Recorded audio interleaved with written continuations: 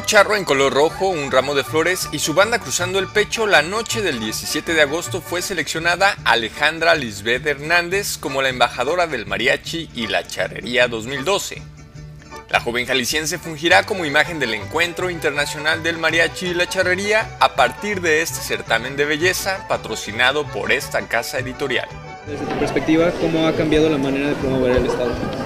Yo creo que tenemos que hacer cosas más proactivas y entre ello, como les comentaba, empezar por nuestro entorno y de ahí fomentarlo hacia no solo nacional, internacional, sino mundialmente, que la verdad es que somos muy reconocidos, pero no quiero que se quede solamente en unas barreras, que se extienda todo lo que es el mundo. ¿Y para las nuevas generaciones crees que se mantiene la, promoción de, las, de, la cultura en Jalisco y cómo es que tú vas a apoyar para que eso cambie? Sí, comencemos por en las escuelas poner música mexicana, que es lo que hace falta, eh, que conozcan nuestros trajes típicos, que conozcan en dónde se elabora el tequila, de dónde viene el mariachi, en dónde se elaboran las riatas. Todo eso la verdad es que son cuestiones muy interesantes que este certamen me ha dejado y bueno, vamos a difundirlos como buena embajadora del mariachi.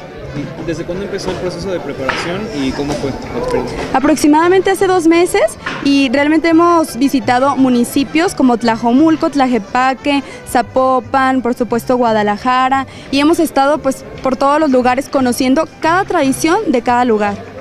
Y bueno, ya para terminar, ¿cuáles son las actividades que, te, que vienen para ti siendo este embajadora? Pues para comenzar el encuentro del mariachi, estar ahí presentes, así que los invito a que asistan a las galas, que de verdad se llevarán a cabo en Teatro de Gollado, como ustedes saben, el mariachi tradicional en diferentes puntos, que el año pasado fue en Tlaquepaque, y el desfile el 2 de septiembre, yo los invito a que asistan porque no se lo, no se lo pueden perder.